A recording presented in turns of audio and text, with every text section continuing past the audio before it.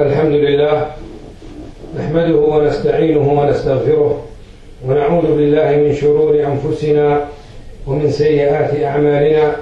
من يهده الله فلا مضل له ومن يضلل فلا هادي له. وأشهد أن لا إله إلا الله وحده لا شريك له. وأشهد أن محمدا عبده ورسوله. يا أيها الذين آمنوا اتقوا الله حق تقاته ولا تموتن إلا وأنتم مسلمون. يا أيها الناس اتقوا ربكم الذي خلقكم من نفس واحدة وخلق منها زوجها وبث منهما رجالا كثيرا ونساء. واتقوا الله الذي تساءلون به والأرحام. إن الله كان عليكم رقيبا. يا أيها الذين آمنوا اتقوا الله وقولوا قولا سديدا. يصلح لكم أعمالكم ويغفر لكم ذنوبكم. ومن يطع الله ورسوله فقد فاز فوزا عظيما.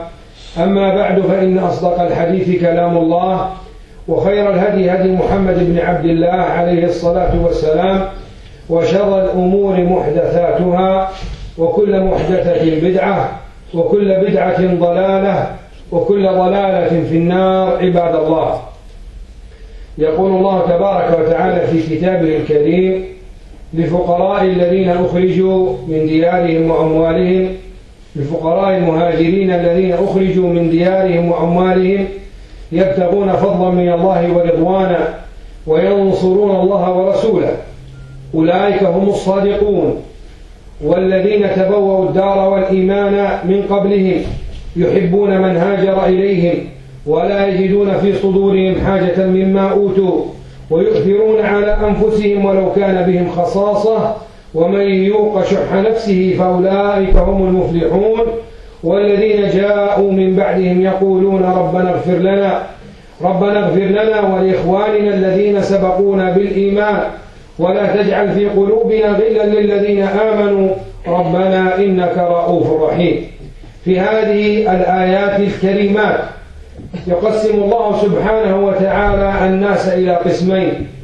قسم صحب النبي عليه الصلاة والسلام ورافقوه وأيدوه ونصروه وأحبوه حق حق المحبة وما تركوا شيئا إلا يستطيعون فعله لنصرته إلا قد فعلوه رضي الله عنهم وأرضاهم. وهم صحابة رسول الله رضوان الله عليهم وأرضاهم. والصحابي هو كل من لقي النبي عليه الصلاة والسلام مؤمنا به ومات على ذلك. الصحابي هو كل من لقي النبي عليه الصلاة والسلام ومات على ذلك. فكل إنسان ذكر أو أنثى لقي النبي عليه الصلاة والسلام ومات على ذلك فهو صحابي يلحقه فضل الصحابة ما جاء في القرآن وما جاء في السنة وما أجمعت عليه الأمة فهو داخل فيه بإذن الله تبارك وتعالى. نعم تتفاوت الصحبة من حيث قربه من حيث قربهم بالنبي عليه الصلاة والسلام. فمثلا أفضل الصحابة على الإطلاق أبو بكر الصديق رضي الله عنه ثم عمر بن ثم عمر بن الخطاب رضي الله عنه. ثم عثمان بن عفان رضي الله عنه ثم علي بن أبي طالب رضي الله عنهم أجمعين. فهؤلاء الأربعة مثلا هم أفضل الصحابة وصحبتهم أقوى وأفضل من صحبة غيرهم من الصحابة. وإن كان الجميع وإن كان الجميع داخلين في رضوان الله وداخلين في الفضل في الفضل الوارد في القرآن والسنة عن الصحابة رضي الله عنهم وأرضاهم. وأما القسم الثاني في هذه الآيات فهم الذين جاءوا من بعد بعدهم. جاءوا من بعدهم وواجبهم نحو إخوانهم الأولين أعني الصحابة الكرام. فهؤلاء الناس الصحابة رضي الله عنهم لهم واجب على عظيم يستحقون واجبا عظيما يجب على الأمة من بعدهم أن تؤديه لماذا؟ لأنهم كانوا أهل فضل على هذه الأمة. وهم السبب في وهم السبب بعد الله سبحانه وتعالى وبعد رسوله في انتقال هذا الدين إلينا. فكانوا رضي الله عنهم أروع الأمثلة في كل باب. ولهذا قال عنهم عليه الصلاة والسلام خير الناس قبلي ثم الذين يلونهم ثم الذين يلونهم. فأفضل القرون أفضل الناس قرن النبي عليه الصلاة والسلام. فإذا أتيت إلى باب التضحية بالنفس رأيت أنهم أفضل من ضحى بأنفسهم في سبيل الله. ولا يمكن لأحد بعدهم أن يضاهيهم في هذه المنقبة. كيف بهم؟ رضي الله عنهم وأرضاهم. وهذا مثل واحد من أمثلة كثيرة. وهم يجتمعون ألف وأربعمائة تحت الشجرة يوم الحديبية. يبايعون على ماذا؟ يبايعون على أنهم سيقاتلون حتى الموت ولا يفرون. ممكن لكل إنسان أن يبايع بهذا الكلام. أنت قد تحددك نفسك بأنك إذا كنت معهم أو الآن إذا طلب منك في بيعة في رضوان الله سبحانه وتعالى ونصرة المسلمين على أن تبايع بأن تقاتل حتى أن تموت ممكن أن تقول هذا. لكن من من يضمن صدق هذا الأمر؟ أولئك الناس شهد لهم الله سبحانه وتعالى بالصدق. لقد رضي الله عن الذين يبايعونك تحت الشجرة. إذا علام الغيوب والمطلع على القلوب شهد لهم بأنهم كانوا صادقين في بيعتهم وإنهم لو ولو لو قاتلوا المشركين في تلك المعركة لصبروا حتى انتصروا وقتلوا رضي الله عنهم وأرضاهم. 1400 يبايعون رسول الله عليه الصلاة والسلام على أنهم يقاتلون حتى يقاتلون حتى ينتصروا أو يقتلوا ويصدقهم الله سبحانه من فوق سبع سماوات. ليس هذا فحسب بل يصدقهم النبي عليه الصلاة والسلام بظهر الغيب. فمن كان غائبا منهم كعثمان رضي الله عنه قال النبي عليه الصلاة والسلام هذه عن عثمان. وبايع عن عثمان رضي الله عنه وأرضاه؟ هذه عن عثمان. عثمان لم يكن موجودا. بل نبى إلى مسامعهم بأن المشركين قد قتلوه. لكن لعلم النبي عليه الصلاة والسلام اليقين بأن هؤلاء الناس صادقون بايع عثمان بظهر الغيب. صلوات ربي وسلامه على رسوله الكريم ورضي الله ورضي الله سبحانه وتعالى عن عثمان بن عفان رضي الله عنه. إذا مثل هذه المنقبة لا تكون لمن بعده. كل يدعي وصفا لليلى وقد لا تقر ليلى بذلك.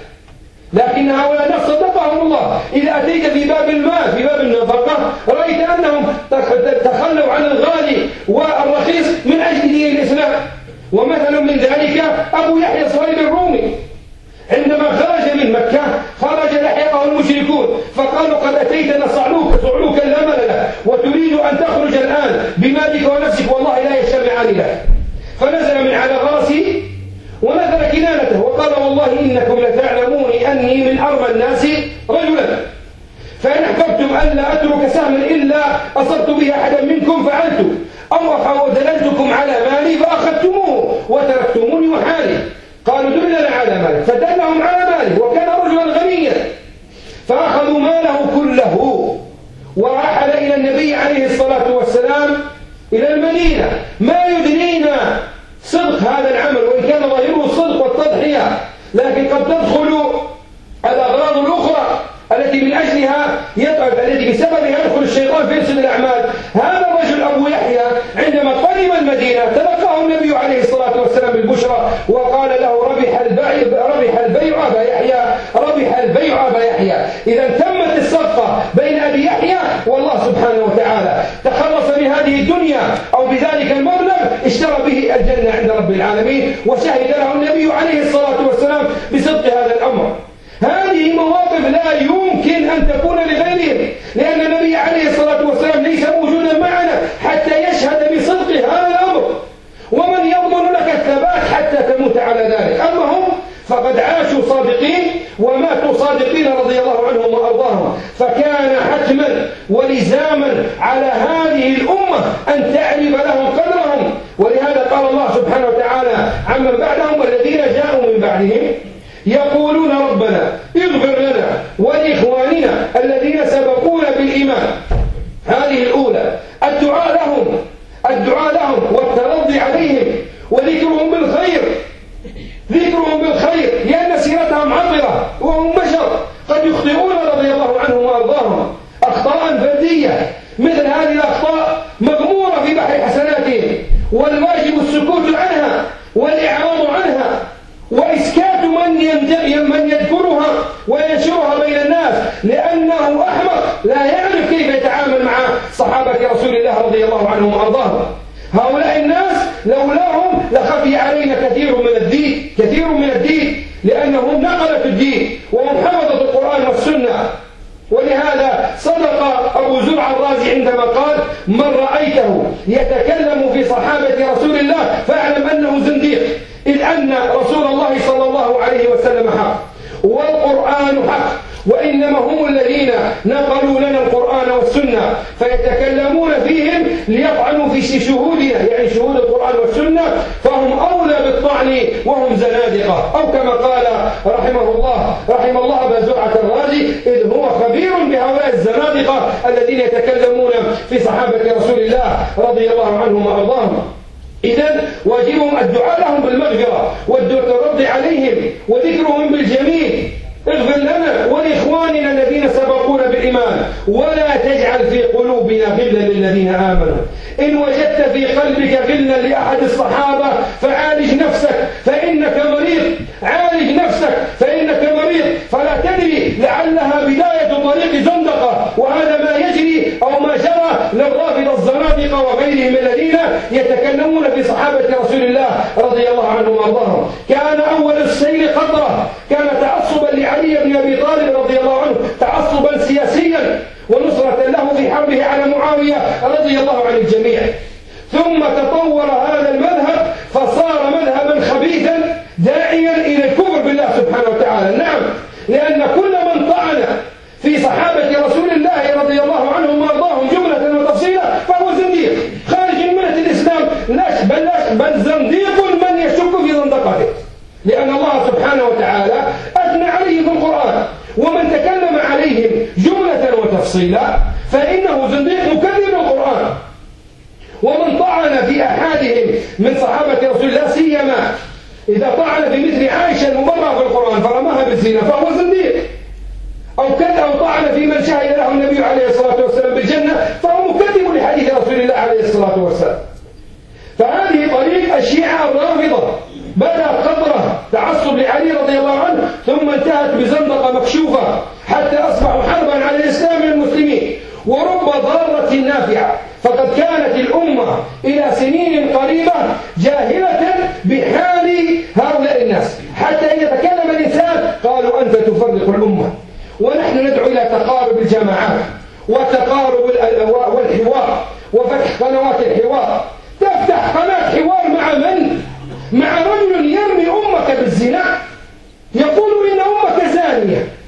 يقول إن أمك زانية. يقول إن أفضل رجل في هذه الأمة ارتد. وزنديق عن أبي بكر الصديق. تفتح حوار والله الذي لا إله غيره. لحوارك مع النصراني أسهل من حوارك مع هذا الزنديق إذ أن الحوار مع النصراني حوار مع كافر مكشوف ولا ينتمي للإسلام فالكلام معه بين مسلم وكافر أما هذا يدعي أنه بالجنة وأنه صالح وأنه وأنه وأنت ناصبي خبيث. هذا هو ظنه. فلما جاءت المصائب كحرب أفغانستان وحرب العراق انكشفوا على حقيقتهم وصدق شيخ الإسلام ابن تيمية رحمة الله عليه قال ما قامت حرب ضد المسلمين أو كلمة نحوها إلا وظهرت بعدها دولة شيعية لأنهم كل من ينصر أعداء المسلمين أعداء الإسلام والمسلمين على المسلمين لأنهم زنادقة لكنهم يتسترون باسم الإسلام فالذي يطعن في أم المؤمنين عائشة يرميها بالزنا زنديق شام أبا يطعن في أبي بكر الصديق وعمر وهؤلاء الناس الذين هم المقربون إلى رسول الله صلى الله عليه وسلم وهم نقلة الدين فيهم ليطعنوا في ديننا ولهذا تجد هؤلاء الناس هم الذين يعمرون المشاهد.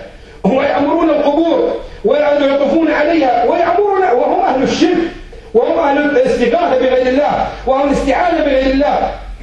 لو قرأت في حالهم لرأيت أنهم على ملة غير ملة الإسلام. ثم يأتي بعد هذا ينعق ناعق في الفضائيات أو يخرج لنا على المنابر ويقول الخلاف بين السنة والشيعة خلاف يسير. نقرب بينهم في الشيعة إنما هو إنما هو بحث عن أخطائهم ولهم على خير.